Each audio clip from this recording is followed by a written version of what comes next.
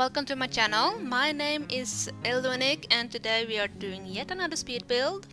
Well, clearly, since this is only what I do on this channel. Uh, anyway, um, I want to tell you a little bit about the build that I'm doing today. It's a log house, I guess. Uh, the idea was that I want to make like a funny tree house, but like a garden house, and then during the time I changed my mind because first I wanted to make it look like it was um, small so it was part of a garden. And I wanted to have like a water can on the top where it was supposed to be like tipped over and stuff like that. But when I tried it didn't really look that good and um, I ended up not doing that. So yeah that's how that changed into something else. Um, I'm quite happy with how this build turned out because I wasn't really sure how it would look like if you have those big fenced logs around that building the way that I do it in the build. And when I first started off I was thinking this is kinda cute. And I decided I want to make it into like a squirrel farm.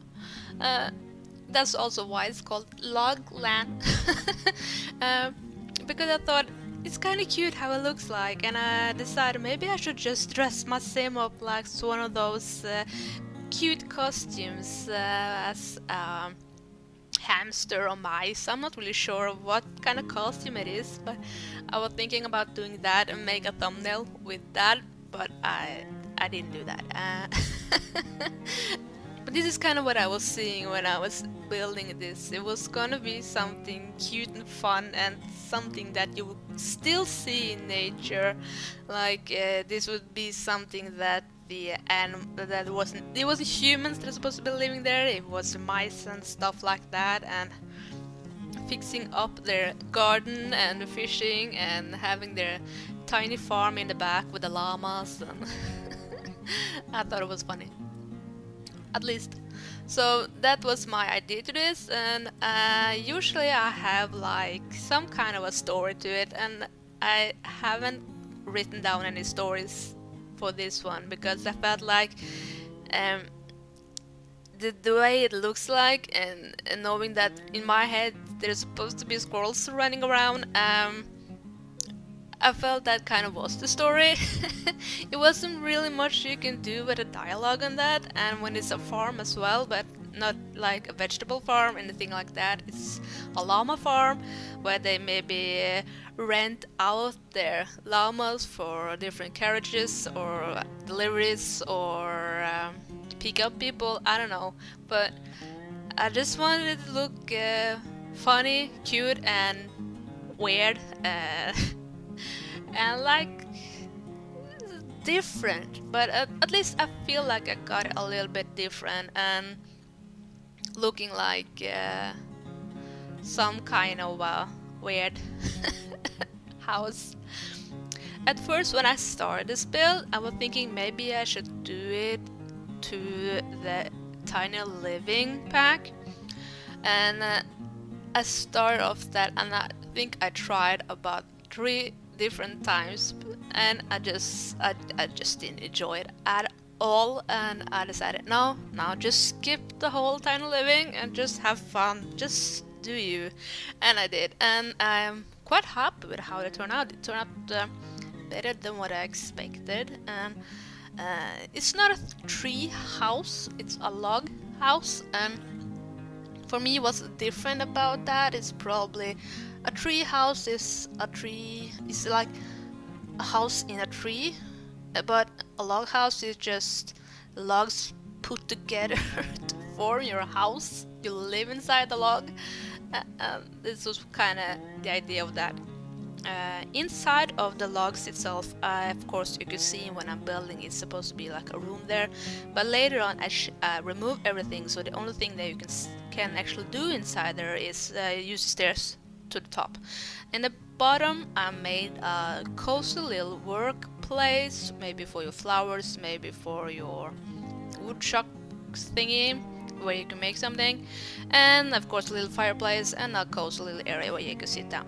Of course they have the herbalist spot on the different sides. You can see that in the, in the slides in the end of the video, how it's supposed to look like, and it was cute, it was cozy again. Uh, I'm quite happy with it, and it, um, what I'm surprised about is that it worked. Uh, I didn't really expect that.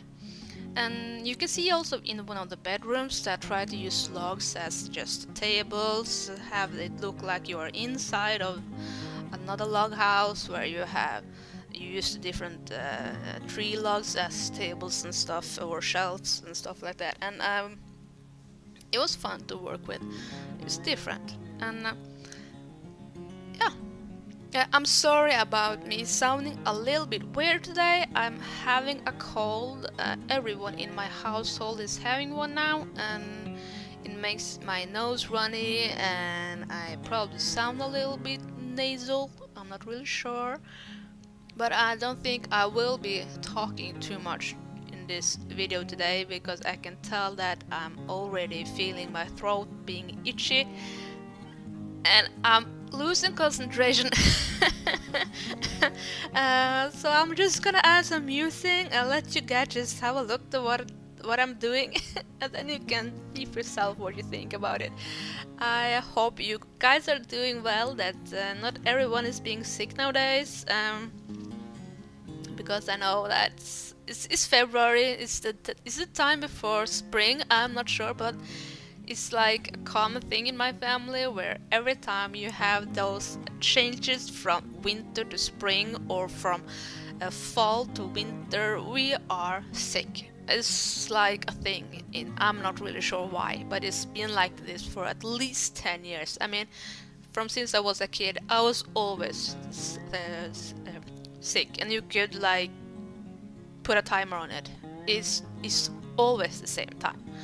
So um, it's not fun, but you get used to it. And you can't expect it to happen, so I always make sure that uh, dress well, don't get your feet cold, don't get your feet wet, because if they get wet, they get cold. And um, just make sure that you're always dry and that you're never too hot and never too cold. it's, it's, it's, a, it's, a big, it's a big process. So yeah, Anyway, um, yeah, as I said, I will not be speaking too much today, and I've already been talking for seven minutes.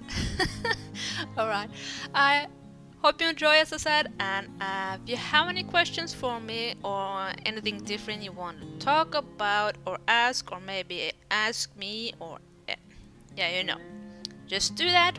That's totally fine. Ask me on Twitter, ask me in the comment box below. You decide. Alright, uh, see you guys. Bye!